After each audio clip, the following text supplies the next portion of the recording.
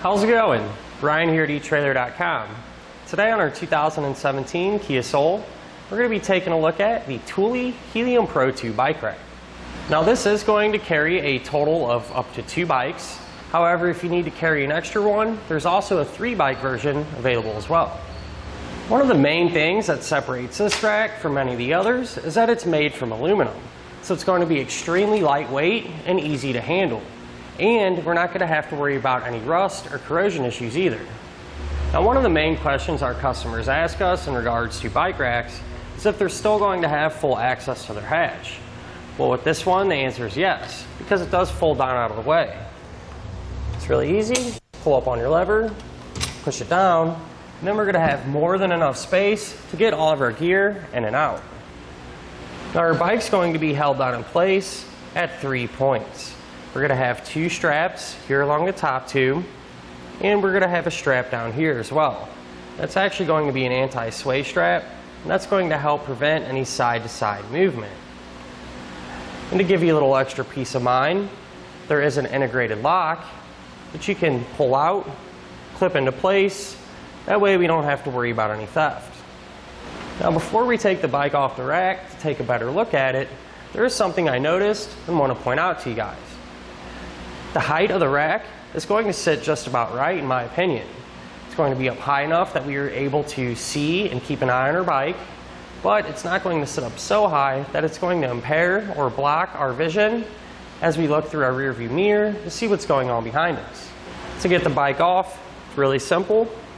Just push down on your tabs, lift the straps up and out of the way,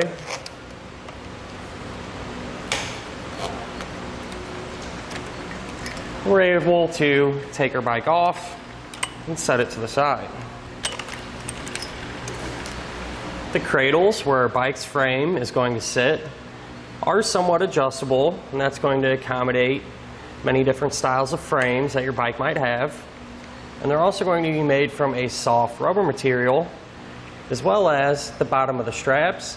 That way we don't have to worry about scratching or damaging our bike's finish. And when we're not using it, I do recommend to pop your straps back in place. That way we don't have to worry about losing them. Now whenever we have our bike rack on the back of our Kia, it is going to extend the overall length of the vehicle. By exactly how much, from the hatch to the edge of the rack, it's going to be about 33 inches. So that's something to keep in mind whenever you're pulling into a tight parking spot or even your garage.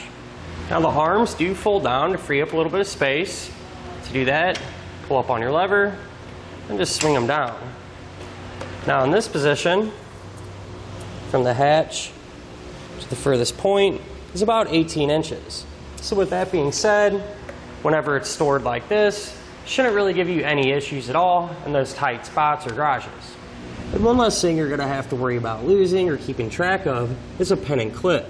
And that's because this one already has one that's built in. So this is going to work with both two inch by two inch hitches like we have here today, as well as inch and a quarter hitches. And that's great, especially if you plan on using this for multiple different vehicles. It's also going to have a knob here, and whenever you tighten that down, that's actually going to secure the rack to the hitch.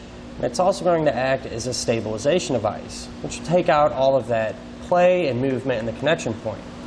So to give you an example, if I put a little bit of movement on our rack, we're not going to get any rattle down there. It'll actually move the whole car.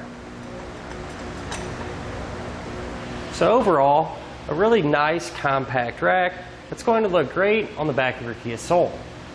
This is our test course. Let's start with the slalom. This shows side-to-side -side action, such as turning corners or evasive maneuvering. Then, onto our alternating speed bumps. This shows twisting action, such as hitting curbs, potholes, road debris, or even uneven pavement. And that'll finish up our look at of the Thule Helium Pro 2 bike rack on our 2017 Kia Soul.